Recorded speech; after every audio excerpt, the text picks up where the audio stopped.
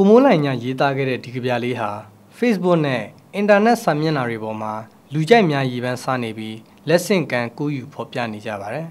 ။ဖန်နီးသူကိုမိုးလိုင်ညာက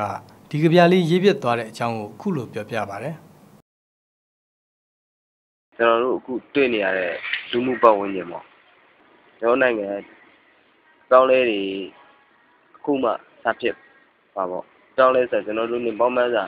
ကြုံတွေ့ရတဲ့စနစ်တစ်ခုနဲ့နောက်ထပ်ဒီမိုရီစနစ်အားလုံးဒီမိုရီစနစ်ဆိုတဲ့စနစ်တစ်ခုကြောင်းမဲ့အနေထားပေါ့ကျွန်တော်နေပေါင်းနဲ့ဆရာကြာခဲ့တဲ့ရွေးကောက်ပွဲတစ်ခုဖြစ်ပေါ်လာမဲ့အနေထားပေါ့အဲ့မှာဒီမိုကရေစီဆိုတဲ့အကြောင်းတွေကိုကျွန်တော်တော်တော်များတုံးလုံးခဲ့နှစ်ပေါင်းမဲ့ကျွန်တော်မတုံးလုံးခဲ့တဲ့အတုံးလုံးပေါ့လူလူကြမှာခြေပြင်းမြတ်မတုံးလုံးရဲ မြန်မာနိုင်ငံရဲ့နိုင်ငံရေးလှုပ်ရှားမှုတမိုင်းကိုပြန်ကြည့်မယ်ဆိုရင်ကြပြားတွေဟာလည်းရေးကြီးတဲ့အခန်းကဏ္ဍမှာပါဝင်ခဲ့ပြီးလူမှုအပေါ်ဩဇာလွှမ်းမိုးထားနိုင်ခဲ့ပါတယ်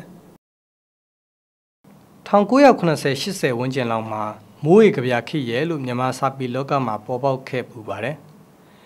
ကြပြားဆရာတွေကြပြားအက်ဒီတာတွေဦးစီးထုတ်ဝေတဲ့မိုးရေမဂ္ဂဇင်းဟာဆိုရင်ထူးခြားပြောင်မြောက်လာတဲ့တော်လန်ရေးကြပြားတွေမော်ဒန်ကြပြားတွေနဲ့ဝေစီနေပြီး စာဖတ်ပရိသတ်တွေအပေါ်ဩဇာလွှမ်းမိုးမှုကြီးမားခဲ့တဲ့ကာလတစ်ခုဖြစ်ပါတယ်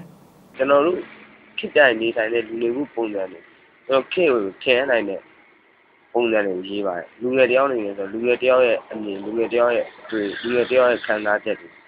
အများဆုံးပါဝင်နေပါတယ်ပြီးခဲ့တဲ့စက်တင်ဘာလကထိုင်းနိုင်ငံချင်းမိုင်မြို့မှာပြုလုပ်ခဲ့တဲ့22နှစ်မြောက်ရှစ်လေးလုံးအခမ်းအနားမှာတင်ဆက်သွားခဲ့တဲ့ဒီကဗျာလေးဟာလူကြိုက်များခဲ့ပြီး ကြပြဆရာမောင်လွန်းနေရေးဆက်ခဲ့တာဖြစ်ပါတယ်ရှစ်လေးလုံး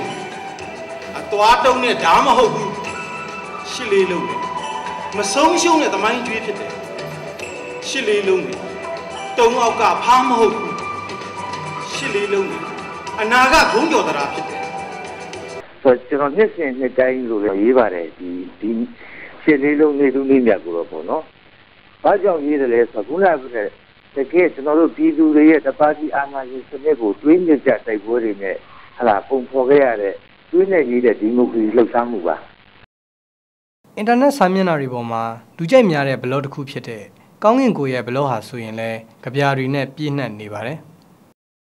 ကောင်းကင်ကိုရဲ့ကြပြားတွေတဲကမှကျွန်ဆိုတဲ့ကြပြားလေးဟာလူကြိုက်တော်တော်များခဲ့ပြီးတိုင်းတစ်ပတ်မှာတွားရောက်အလုပ်လုပ်ကင်နေကြရတဲ့ မြန်မာနိုင်ငံသားတွေရဲ့ဘဝအစိတ်ပိုင်းတွေကိုကြပြဆရာက